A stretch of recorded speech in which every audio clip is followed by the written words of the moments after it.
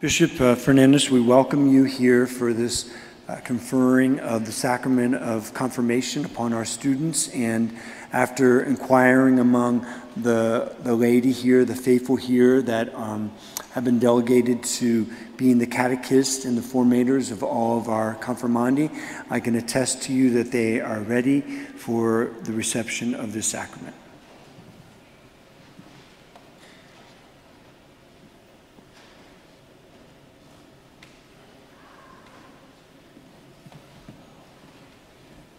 Thank you, Father Dave. I, I know that priests never lie to the bishop, so I know that you all are well prepared uh, to receive this sacrament.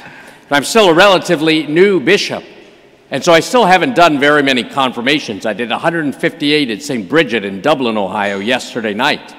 But I'm still getting the hang of things, and so, but I have been to a lot of confirmations. And normally, what the bishop does at confirmation is he wanders up and down the aisles and he asks those to be confirmed questions to see if they are well prepared.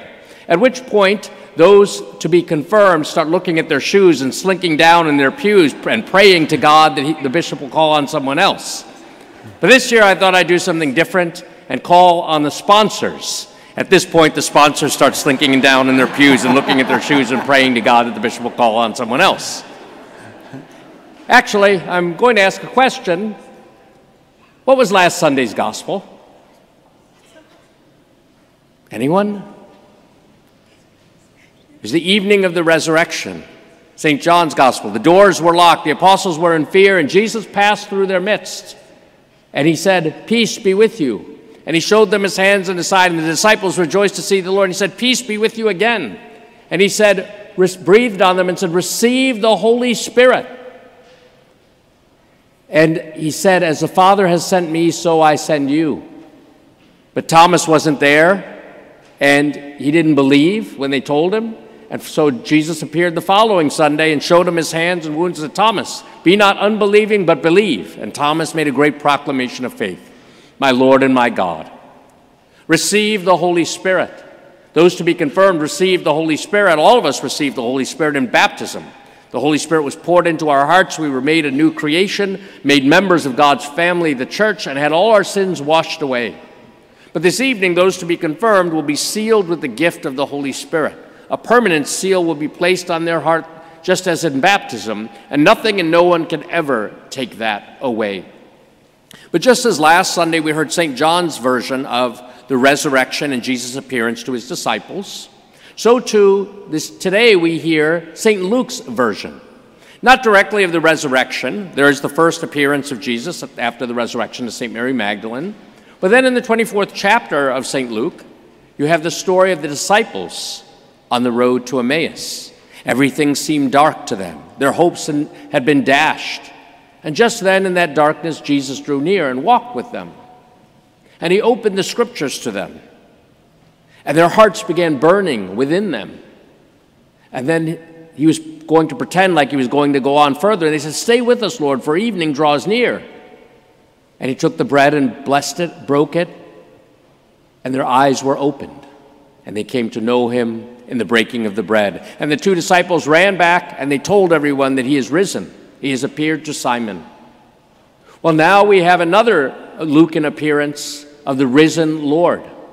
Jesus appears and he chastises his disciples for being slow to believe. And he eats bread and he eats fish to show that he's truly risen in the flesh. And that is what we are celebrating throughout the Easter season. But he also tells them that the Son of Man was going to have to suffer and die and rise. He showed them, again, he opened the scriptures and showed them how everything was going to point to this moment.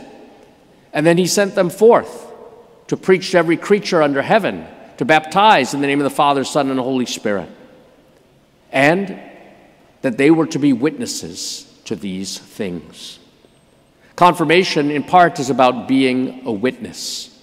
If we think about the scriptures and what Jesus promises to his disciples, he doesn't promise us a rose garden. He doesn't promise us that everything will be easy. In fact, he told his disciples that they would have to take up their cross daily and follow after him, and that the Son of Man would have to suffer and die.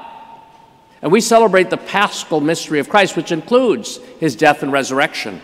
But at Calvary, something was opened. Jesus' side was opened, his heart was pierced with the lance, and blood and water flowed out. Water, a sign of baptism and new life, blood, the blood of redemption and sacrifice in the Holy Eucharist. At Calvary, when Jesus died, the veil of the temple was torn open. At, G- at, Calvary, when Jesus died, the tombs were open, the scriptures say. Yes, with Jesus' death, there was a type of opening. But then with Jesus' resurrection, too, there is a type of opening. Mary Magdalene, for example, came to find the body, but did not find it. Instead, she found that the tomb was open and the stone had been rolled back. At first, she thought Jesus was the gardener. And when he called her Mary, her eyes were open. He said, Rabboni, which means teacher. And she recognized him. He who had been crucified was truly alive. When Jesus appeared to his disciples on the evening of the resurrection, it, he had to show them his hands and his side. And the disciples rejoiced to see the risen Lord. Jesus is constantly opening things. He's opening the grave, He's opening our eyes. With the disciples on the road to Emmaus, He opens the scriptures and their hearts are burning within them. All the time, Jesus is calling us to a greater openness. In today's gospel, He chastises His disciples for being hard of heart and slow to believe. But then He opens the scriptures once more and shows them the real meaning and how He's the fulfillment of those scriptures. He opens to them the possibility of eternal life, that death no longer has power over us. He opens our eyes to see possibilities that we could not see before. This is in part what the sacrament of confirmation is about. In being sealed with the gift of the Holy Spirit is not so much about young people confirming their faith in Jesus. They will do that by renewing their promises of their baptism but it's principally about what God does for them. He strengthens them to live more fully the promises of their baptism, to see what baptism is really all about. He conforms them more fully to Jesus Christ so that they can live their baptism more fully. He conforms them to Jesus Christ, who was the witness to the Father's love. And he strengthens them by the gift of His Holy Spirit to defend Christ and His church. Some of the more senior members of our congregation may remember that when the bishop used to come around for confirmation, he used to give each confirmand a slap on the cheek. And the idea was that you were a soldier of Christ, defending Christ, defending his church. We always used to joke that the nuns used to give the list of the boys who had been bad every year to the bishop so he could slap a little harder. But the idea is that we are soldiers, and we have to open our eyes to our visible and invisible enemies those who would deny Christ, those who would attack the church, those who would uh, uh, attack the poor, the weak, the vulnerable, those who would close doors to people who long to come to our country and who close their hearts to others in their need.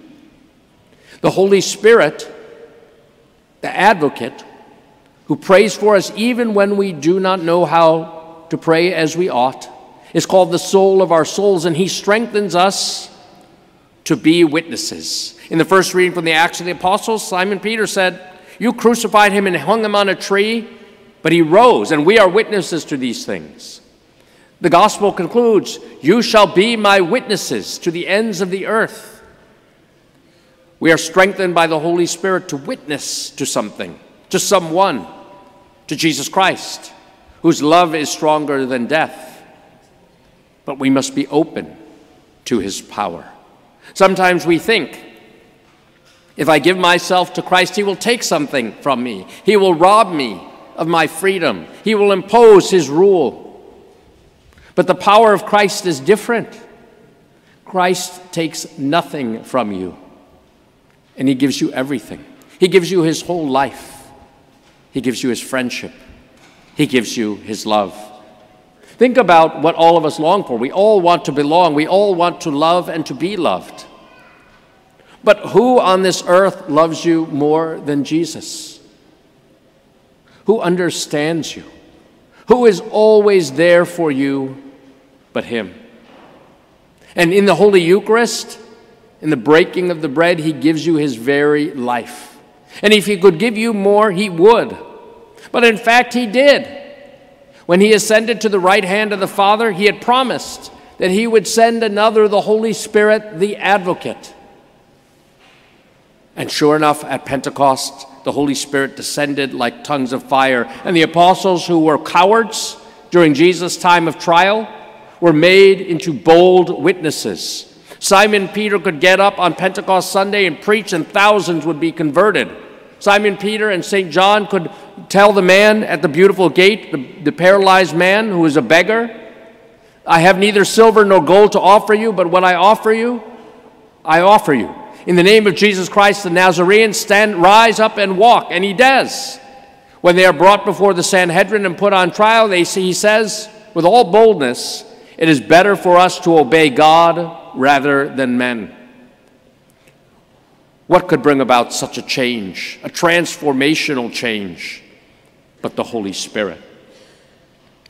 But now we must open wide not only the doors of our hearts to Christ, but also to the power of His Holy Spirit. Unlike worldly power, which wants to control us, the Holy Spirit is gentle. He is the comforter. He can burn like a raging fire, and we can be zealous for the gospel and the things of heaven. But He could also be a flickering flame, giving us a gentle warmth, warming our hearts and helping us to be open to others and open to God's plan for our life and our vocation. Yes, the Holy Spirit is the great gift of God from on high. And God wishes to share this gift with you this evening. Not just so you grow holy and are sanctified by the power of the Spirit. He gives you this gift so that you can be His witnesses. Witnesses to what? To a love that is stronger than death. How many lonely people are there in our world who are looking to encounter God and the comforting Spirit in and through you? How many people are coming to this country just wanting not to be part of the drug cartels or just wanting to work to provide for their families and will look to you to open your doors and to welcome them? How many people around the world are suffering from violence when the Lord's gift to the church at Easter time is peace, and he breathes the spirit of peace on his apostles. What our, what our world needs now more than anything is God. If God is lost, all is lost. But as the Father sends send me, so I also send you, Jesus says. You are witnesses. Jesus sends his apostles out to the ends of the earth. I am one priest. Father Sizemore, Father Gentry are two more. But we need a whole army of witnesses.